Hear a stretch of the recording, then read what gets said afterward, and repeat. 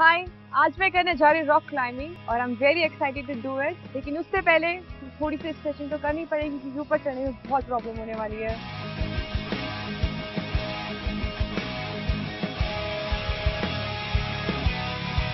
Go.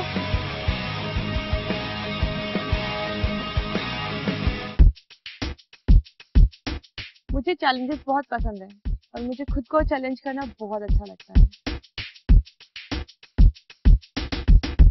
Rock climbing दिखने में बहुत ही आसान है, लेकिन करने में बहुत ही मुश्किल।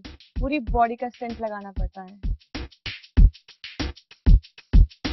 स्ट्रेंथ और टेक्निक बहुत ज़रूरी है, और हाथ और पैर का coordination is also very important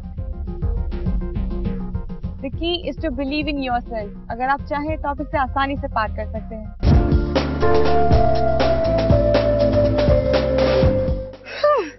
Finally I did it yes जितना इसे दिख रहा था ये आने में बिल्कुल नहीं था, बहुत मुझे लगी थी. Look at my hands spinning like hell finally I am back in peace yes